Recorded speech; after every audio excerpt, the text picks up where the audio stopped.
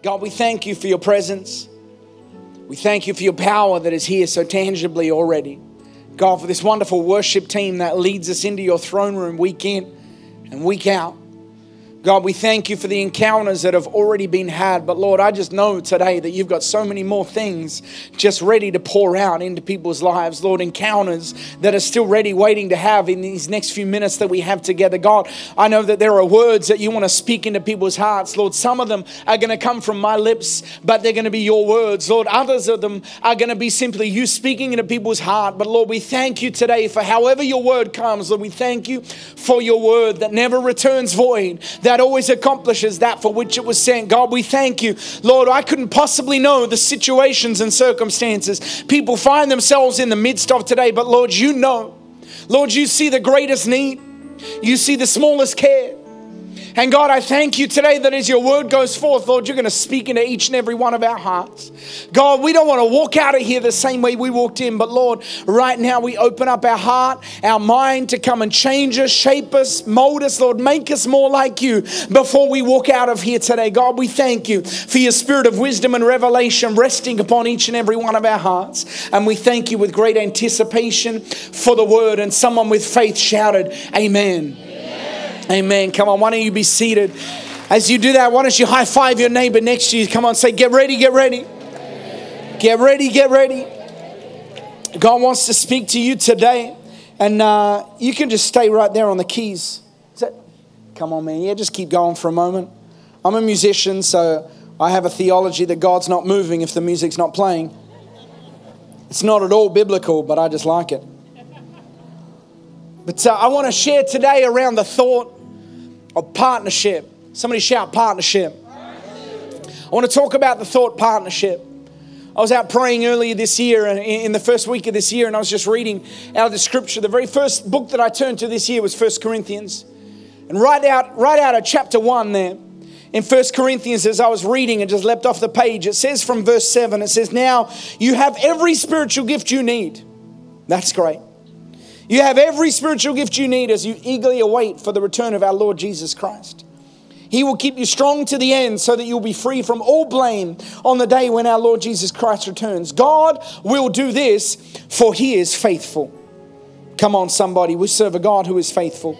He is faithful to do what He says. And check this out He has invited you into partnership with His Son, Jesus Christ our Lord. The invitation into partnership that God has for us is not just an invitation into a partnership with a good idea. It's not just into partnership with a good message, although that's a good message. It's not just into partnership with a great vision, although there's great vision. God's invited us into the greatest partnership of all partnership with His Son, Jesus Christ. It's the greatest partnership we could ever imagine. Now, you see, God could have created the world any old way He wanted to. He could have created an existence where He just shows up in our life every day and does miracles, and we get to stand back and watch. That would be entertaining. That would be more entertaining than game seven in 36 minutes. Don't worry, I know what's happening. That would be an entertaining existence, but that's not the world God created. God created a world where He chooses to partner with us. I certainly don't understand why, when I lay my little old hand upon a sick person, they get healed. There's certainly nothing special about this hand, trust me. It's the power of partnership with the miracle working power of the Holy Spirit. That as I join my faith with His power, all of a sudden He begins to do what only He can do. This is the partnership God has invited us into. I want to share a story with you before we get going into our message today. We run a conference every year. It's called Planetshakers Conference. It was at this event 16 and a half years ago on January the 14th, the year 2000, that I gave my heart to God. It was at this conference that Pastor Rich was preaching and I first encountered his ministry. We've been running Planetshakers Conference every year since then. We since started a church. We started our church in 2004. Now, six, 12 years later, it's a church of 13,500 members. In 12 years, it's the fastest growing church in the history of our nation. God's done incredible things. It's been a privilege for me to stand back and, first of all, witness it as simply just a young man, a kid fresh out of college. And now to be able to play my part as a part of it all. And last year we were there in conference. And one of the things my pastor, Pastor Russell, always felt to do from the very start, it was a youth conference to start with. It was $10 registration when it first started in 1997. Because he felt to teach a generation how to give and not to pay. And so he, made the registration $10 and he's always budgeted faith into the budgets. Now I'm sharing things that he shared from stage, it's not a secret. Last year, the budget for our conference was $1.2 million. Just to walk in the doors of the arena that we have it in cost $400,000. That's with no lights, no stage, nothing. Just to walk in the door. It's an expensive city to live in. $1.2 million. We had 6,000 people registered. The rough registration cost to get into the conference was $100. To go to any other Christian conference in Australia, you'd be paying $300. Half the, if you do the math there, 6,000 people registering at $100, that's half the budget covered. Which means our pastor, we, we, we come into conference believing $600,000 is going to come in in offerings. Never once have we had a conference where that hasn't happened. We get to conference last year, the first night was a great night, great move of God. The offering was quite low. The second night, another great move of God, a phenomenal night, but the offering was very low. Came into the third night and we were a long way behind in the red. In the middle of worship, Pastor Russell was there as we were up on stage leading worship, and he feels God say, Do conference next year for $20. The rough, the average registration price last year was $100. That's cheap. He feels God say, do conference for $20 next year. He puts that thought away. Keeps worshiping. God speaks to him again, do it for $20. He, he introduces the guest preacher, it was Pastor Chris Hill. I believe you all have had him here for VOUS Conference before. And uh, let me encourage you if you're not registered for VOUS Conference yet, you'll need to do that because God's going to do incredible things there. But we had Chris Hill preaching, and he introduces Chris Hill. He walks off stage and then calls all the board members backstage and has an emergency board meeting. And he tells them he feels God's spoken to him. He said, This is how we're feeling. I feel like God's spoken to me $20 next year. However, I know that's a crazy move. You all are directors of the church, you're all on the board of the church, so it's our necks on the line if this doesn't go down well. But in, in all of my years of serving under Pastor Russell, he's a man who feels God move and feels God speak, but I rarely ever hear him say, God told me. He doesn't use those words as, as a way to get people to do things. He, he doesn't use those words often, and he said, I feel God said. And so that they discussed it, and as they're in the middle of discussing it, he gets a text message with the offering amount from that night. It was another bad offering. So you got to understand now that they were many hundreds of thousands of dollars behind and they're standing there in the circle, but they felt the presence of God come, and each of them said, It doesn't make sense, but we believe you've heard from God, and they all voted yes.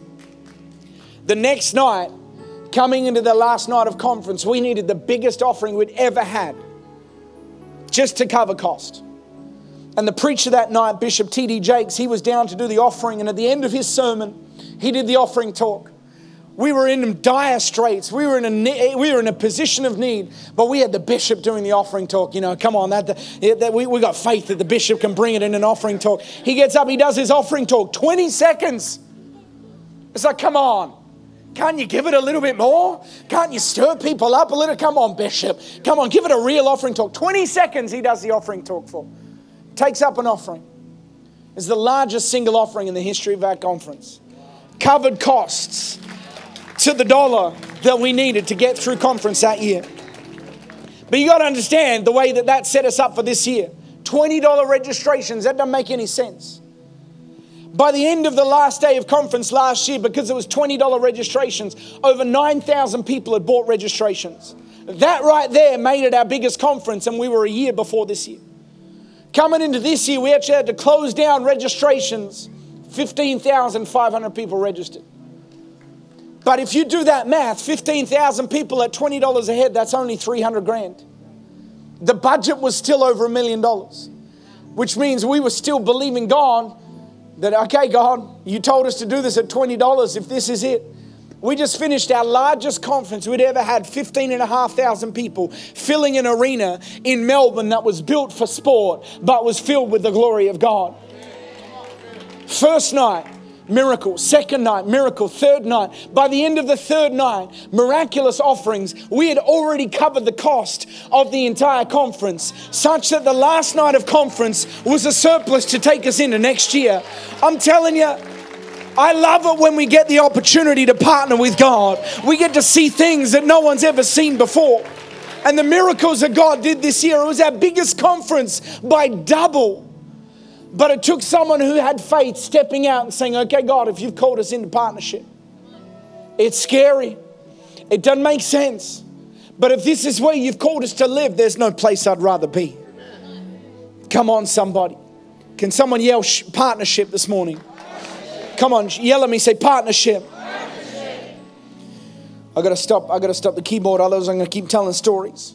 I want to talk about partnership this morning. I wanted to share that story right at the front because I wanted to stir your faith. You know, the Bible says in Revelations that the enemy is defeated by the blood of the Lamb and the word of our testimony. There is power when we testify. Yes, Jesus defeated the enemy, but we get the opportunity to remind him that he's defeated every time we testify of the goodness of God. And there's power when we come together and say, Hey, God did this for me, God did that for me. And what it does in the power of the life of everyone listening is it says, God, do it again.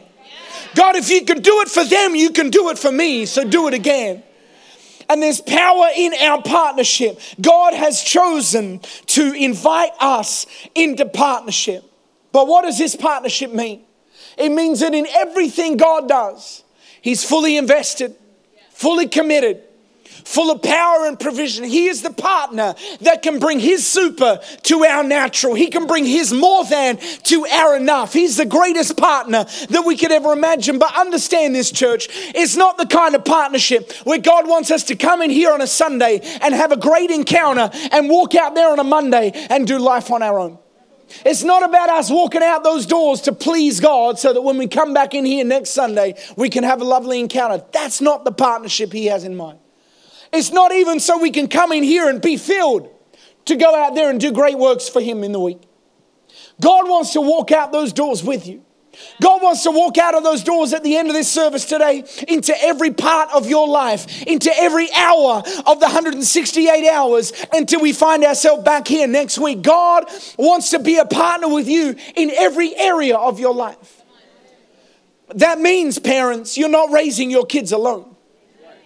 It means you got the greatest partner of all there to raise your kids with you. You may all think that you're a single parent up in here. You're not a single parent. You got the greatest partner of all. The power of God there to raise your child with you, to teach you how to train up a child, how to fill your house with the presence of God. It means marrying people. We're not, we're not trying to have a marriage together with just our spouse, trying to work out our problems on our own, trying to work out how to do this. Means we've got the greatest partner of all right there in the middle of that marriage, making up the cord of three strands that is not easily broken. There's God at the center of our marriage when we partner with Him. It means business person. You're not in business alone. You got the greatest business partner of all time inviting you into partnership with Himself. I don't know if you understand what an incredible invitation this is. We, I heard a testimony of a, of a businessman, a great businessman, who, who always invites God into partnership before he steps into any meeting. And he was there one day, he's praying out in the corridor before he walked into a business meeting, just praying for God to be with him, to lead him, to guide him. He's sitting there in the business meeting. He's sitting on one side of the table, all of these business people on the other side of the table. They slide a check across the table to him. He lifts the check up, puts it down, tries not to smile. It was a large check, quite a few millions of dollars. He feels his business partner, the Holy Spirit, say, Don't take the check. He rebukes the devil. Rebuke you, devil. That's a silly thing. He feels the Holy Spirit say again, don't, don't take the check. So he slides the check back across the table, stands up, walks out. Three weeks later, finds himself in the same room. He's invited God to come back with him again. Of course, they don't know that, but he knows that. And, and so there he is at the table again, the table between them and the business people on the other side. They slide another check across the table for this business deal. He, he lifts it up, he puts it down. It's, it's many multiples of the first check. What was millions became tens of millions. He feels the Holy Spirit whisper to him, You can take that one. That's kind of not fair.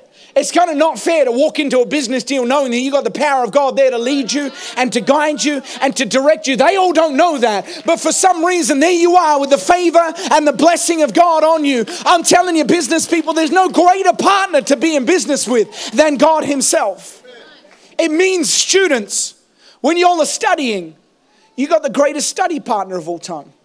You all didn't know that God wanted another Bachelor of Arts. But if He gets to partner with you, He would love that. You know, we got one of my one of my roles at, in Melbourne at our church, Planetshakers, is I run our college ministry. We've got about 2,500 college students part of our church. Probably about 75, 80% of them are Asian. We've got a lot of international students that come from all over the world to come and study in Melbourne, a, great predominance of Asian students there. And so I've got a lot of Asian brothers and sisters. They've taught me a lot, like how good Asian food is. Just want to praise God right there. But, but um, we had one of our Asian students there, a gentleman, he, he was in church on a Sunday and had an exam on a Monday. Yeah, that's right. He was here. Let me say that again. Tell me you missed that. He was in church on a Sunday and had an exam on a Monday. Oh, you know, that's another sermon. I'll leave that right there. He was in church on a Sunday, but had an exam on the Monday because, you know, Matthew 6.33, seek first the kingdom of God and, and, all these things. So anyway, that's another sermon. He was there in church on a Sunday with an exam on the Monday, serving in church and went home and he'd been studying all week and he studied late into the night and went to bed and set his alarm, but something didn't work and he slept in. So he woke up on the Monday morning, he looked at his watch, he's running late for the exam, freaking out. He's getting dressed. He feels God speak to him and say, It's all good. The exam's delayed.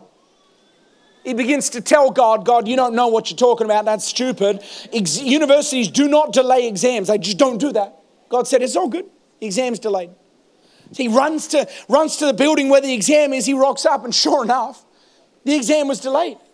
So much so they were having some problem with the lights, and so much so that he looks at his clock. He's still got 15 minutes to spare. He's like, All right, God, I got 15 minutes. What do I do?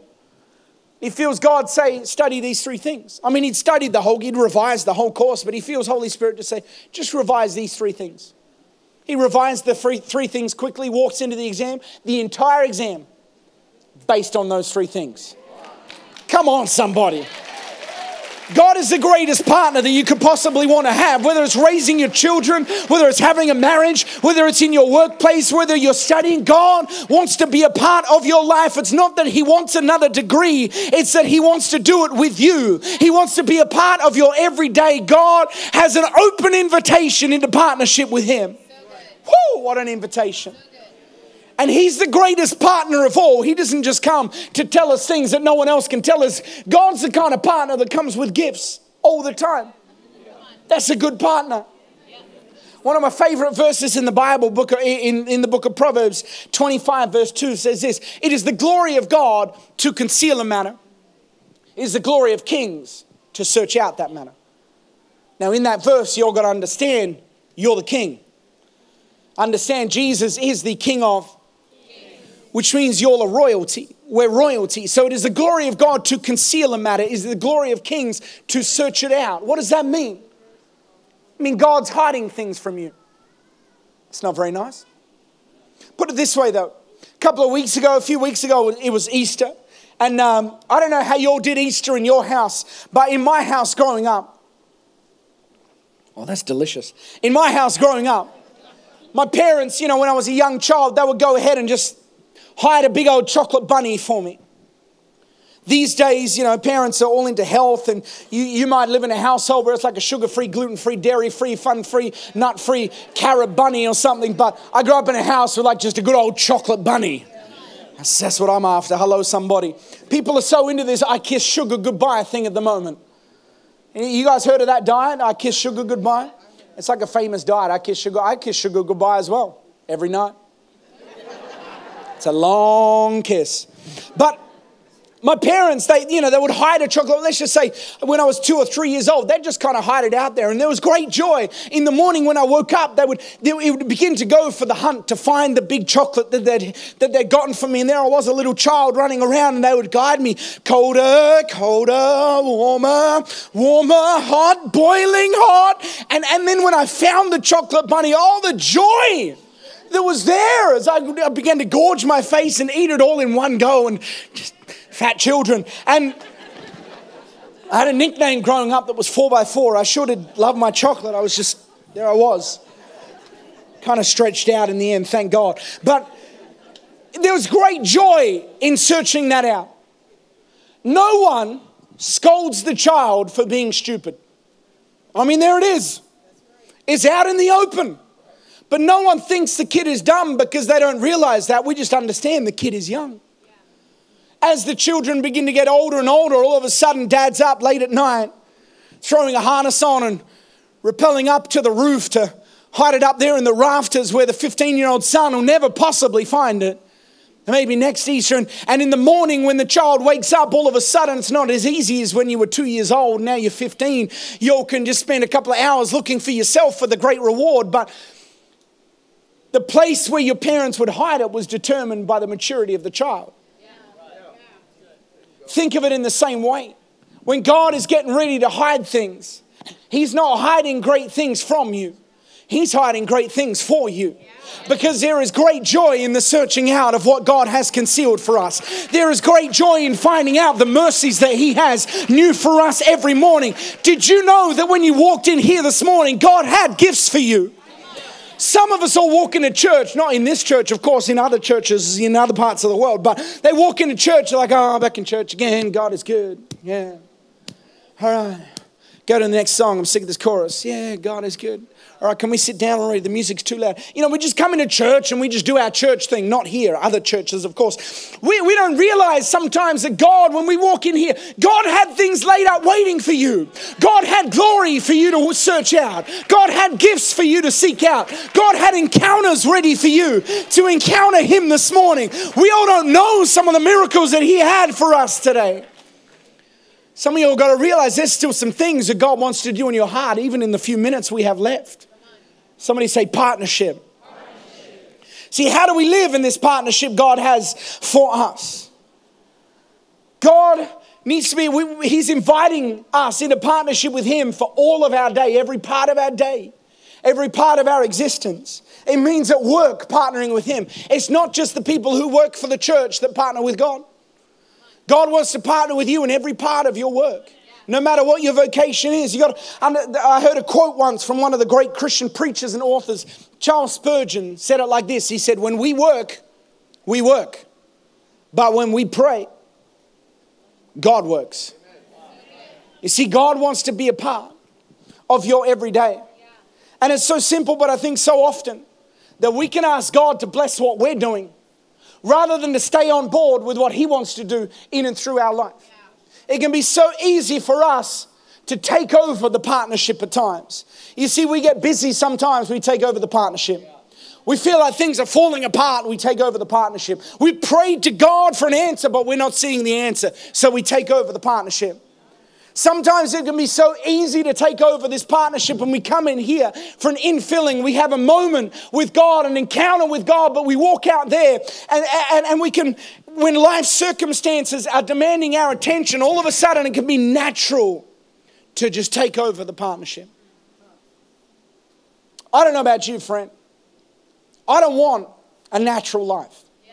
I don't want natural results. I don't want natural things happening in my life. Everyone out there has enough natural going on for them. I want to live with the supernatural power of God. I want to live with the miracles that He has stored up waiting for me. Sometimes things just don't go the way we think they should go. Sometimes things don't pan out the way we think they would pan out. And we can carry disappointment from delay or distractions that we go through in life. I don't know. Has anyone here ever had things not go the way they thought they would go? Remember when our church was first starting, one of my jobs was as a music teacher at our church. And because I wanted to eat a few more things than just two minute noodles every meal, I got myself another job, an extra job. Thank God for two minute noodles, though. My extra job was I was the janitor of our church office. So after church on a Sunday, I would drive to the office and clean the office for three or four hours and get ready for another week of church growth and volunteers coming in and staff members coming in and God doing wonderful things. And the church was growing. And after about 12 or 18 months, we actually outgrew the offices we started in. It was awesome. So we began to move everything down to this new building we found just a couple of miles away. We packed up the youth office, moved it down, packed up the music office, moved it down. We got it all down there. And I remember it was a Thursday afternoon, about three o'clock, and I got a call from our office manager.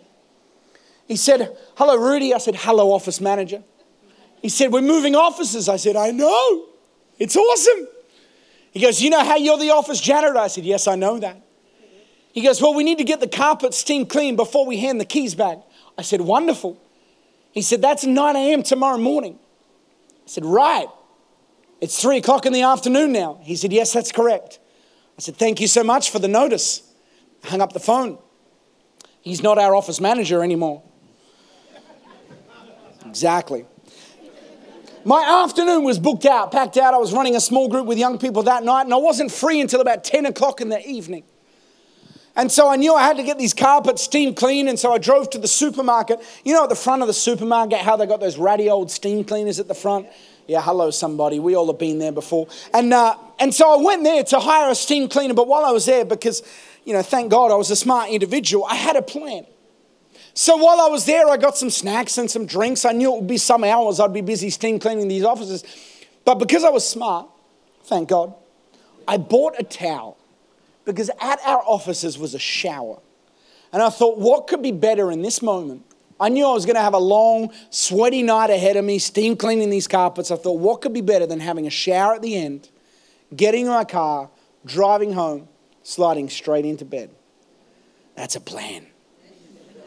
So I bought it all, I loaded it in the trunk of my car, drove to the office, loaded it all up onto the second level, had it all set out my snacks, my drinks, my towel, the machine, good to go. It was about 12 o'clock when I finally switched the machine on, and there we were, just.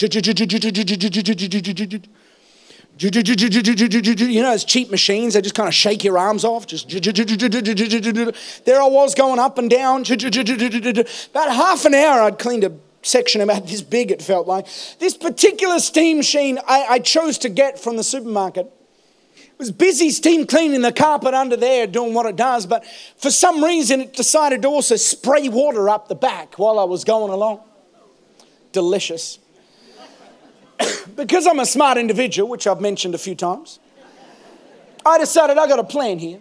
I walked over to the blinds, closed the blinds on the windows, walked back over to the steam machine, took my pants off, kept going.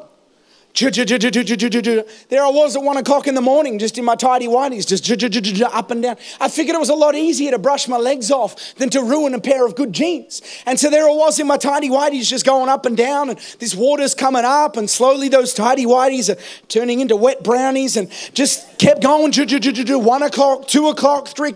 Cleaned the whole office. Didn't skip a corner. I wanted to leave that place better than we found it. I wanted to leave a great impression of the church. So I cleaned every corner of that carpet. About 3:30 in the morning, I finally finished everything. Packed it all up. Drinks were gone, snacks were gone. I thanked God I was a smart individual. Grabbed my towel, walked down the hallway, had one of the most glorious showers of my entire life. Got out of that shower, wrapped my towel around me, and I walked back to the door of the office to pin my number into the pin pad so the door would open. Where there was a pin pad, there was now a hole. I guess they all decided they needed the pin pad down at the new offices. So I had a pin number but no pin pad. I had a closed door but no keys. No phone. No pants. So there I was at four o'clock in the morning, locked out of the offices with no pants on. No phone, no nothing. Now, in any other suburb of Melbourne, this would not have been a big issue. I would have run down the street with my shiny legs just out there for everyone to see, but there would have been no one around. It's four o'clock in the morning. But in the particular suburb where we were, let me describe it to you. It looks a little bit like this dumpling shop, noodle shop, dumpling shop, noodle shop, Hong Kong dessert bar. And then it all starts again. It's like Asia Central where we are. We've got a very large Asian population in Melbourne. Now, the way I was raised in my little old home in Australia is, is that my mother taught me at four o'clock in the morning what you do is you sleep. But for some reason, all of my Asian friends have a different idea of what is appropriate at four o'clock in the morning. They all decide that that is the best time to go out for supper. Where else to go than to a place with a dumpling shop, noodle shop, dumpling shop, noodle shop, and a Hong Kong dessert bar? And so at four o'clock in the morning, in any other part of Melbourne, there would have been not a person around. But at four o'clock in the morning in Box Hill, it was like rush hour on the A1A. There were cars everywhere. There were my Asian friends in those cheap old cars with the big loud music, just kind of driving up and down. There they were, and there was I with my shiny legs running up the road, trying to find a phone box with everyone around because I had no pants on. That was a night. where things did not really go to plan for me. But if I can leave you with one thing for today and for everyone taking notes, write this down. In 2016, when things don't go to plan, at least keep your pants on. You get that for free. You can take that home with you today. Whew. Yeah. You see, when we're in partnership with God, things may not always look good to us in the natural, but these are the moments we need to trust God the most. And there are three stories I just really quickly want to share with you from the Bible. Three men of God in the Bible who were in partnership with God. It didn't always look good to them, but I want to show you how it all panned out. Can we go deeper for a moment, church? Can we go deeper for a moment? Take the man of God, Daniel, as an example. This is the man who would rather spend a night with the lions than to miss a moment in prayer. And here was Daniel, a guy who prayed every day. And it says in this particular story, he prayed every day. But in this particular story, he was praying for 21 days by the river and he did not hear God once. You all ever prayed and not felt like you heard God? Here he was, someone who knew how to pray, didn't hear God for three weeks, just praying nonstop. But it says this in Daniel chapter 10 an angel appeared to Daniel after three weeks and says, Don't be afraid, Daniel. Since the first day you began to pray and to humble yourself before God, your request was heard in heaven. On the first day, it was heard in, in heaven. Excuse me. The angel says, I've come as an answer to your prayer. And then he explains why, why the delay. He says, For 21 days, the spirit prince of the kingdom of Persia blocked my way. But then Michael, one of the archangels, came to help me, and I left him there with the spirit prince of the kingdom of Persia. Now I am here as an answer to your prayer. Daniel started praying, and God heard his request. God sent the answer on the first day. Daniel didn't get the answer until the 21st day. How often do we pray and feel like we're not hearing God? You got to understand this, church. When you pray, God hears you. When you pray, God has an answer for you. You may not have seen it yet, but the answer's on the way. You may not have the miracle you're believing God for yet, but God has sent the answer. The miracle is on the way. Some of y'all are praying for healing in your bodies. I want to tell you, God's power is about to get ready to move in your life. You may not have seen a shift or a change yet, but God is here to heal you today. Come on, somebody shout a good praise to God right now. Don't go to sleep on me, church. You see, understand when we pray, Daniel was there praying for three weeks. When we pray, sometimes we're going to pray things through. We don't petition God to convince Him to be good. God is good all the time. Sometimes, just in the petitioning of heaven, something happens to our faith and our heart. And just because we can't see the breakthrough yet doesn't mean God hasn't sent the answer. Another story, a man of God in the Bible, his name's Isaac in the book of Genesis. Abraham, Isaac, Jacob, that same man. Isaac was a farmer, he was a businessman. And the story goes in Genesis chapter 26 that there was a famine in the land where Isaac was living. So, because he was smart, because he knew there was a famine there, but he was a farmer, he wanted to go somewhere where his crop would work. He wanted to go to where the grass was greener. And so the Bible says, Genesis 26, verse 1 now there was a famine in the land, and Isaac went to the king of the Philistines. But the Lord appeared to Isaac and says, Do not go down there. Live in the land where I tell you to live. God was saying to Isaac, I've placed you here. I've planted you here. You could read it like this For such a time as this, I've called you here. It may not look good to you in the natural, but I've called you here, man of God. You stay where I put you. And so Isaac stayed. Check this out Genesis 26, going down to verse 12. It says this Isaac planted crops in that land. In which land? In the land which was in famine. But it was the land God had called him to. Isaac planted crops in that land, and the same year he reaped 100 fold because the Lord blessed him. He reaped a hundredfold. Any business people in here would love to have a hundredfold blessing on their business? Any people with savings in the bank account that would love a hundredfold return? I don't know if you'll understand what a hundredfold return is. We put our money in the bank, we get 3% back, that's lovely. We invest in a business, we get 20% back, that's a miracle. But God doesn't, if you read the Bible, God never, God, God never speaks in fractions. God's always talking in multiples. Some of y'all in here got to get ready to believe God for multiples, not for fractions anymore. You see, it's like putting a dollar in the bank and getting a hundred back. That's a good bank. It's like putting a hundred dollars in the bank and getting ten thousand back. That's a wonderful bank. That's the kind of bank I'd want to put my money in. It's like putting ten thousand dollars in the bank and getting a million back. That's what a hundredfold return is. Some of y'all got to begin to believe God for a multiplication to come upon your business, for a multiplication to come upon your investments. We only got an opportunity to begin to partner with God. Pastor Robin was up here before telling us about this Pentecost offering. What an opportunity to partner with God, to invest alongside God. That's the kind of partner I want to invest with, the partner who gives returns in multiples. One more story. Can I share one more story? There's a man named Stephen in the Bible. Stephen wasn't important. He wasn't a politician like Daniel. He wasn't a businessman like Isaac. He wasn't a preacher or a man of God. Stephen was simply a waiter. Nothing important. All he had was a tray and his drinks. The band can come back. But Stephen believed God, that God could use him wherever he was at. He wasn't waiting for a title, he wasn't waiting for a more prestigious position, he wasn't waiting for a stage with a microphone. He wasn't waiting for an opportunity with the government. No, Stephen just believed God that God could use him wherever he was at. The Bible says this in Acts chapter 6, verse 8. Now, Stephen, a man full of God's grace and power, performed great wonders and signs among the people. Stephen was a man who worked miracles as a waiter. He wasn't a church staff member. He wasn't on the intercessory team necessarily. He wasn't a preacher. Stephen was just a waiter, but he knew that God would use him wherever he was at. Wasn't determined by his location. It wasn't determined by his vocation. It certainly wasn't determined by his paycheck. Stephen just believed God to use him wherever he was at, and so miracles come to pass. Someone in here has got to begin to believe God this morning that God wants to partner with you in every part of your life life. Somebody shout partnership this morning.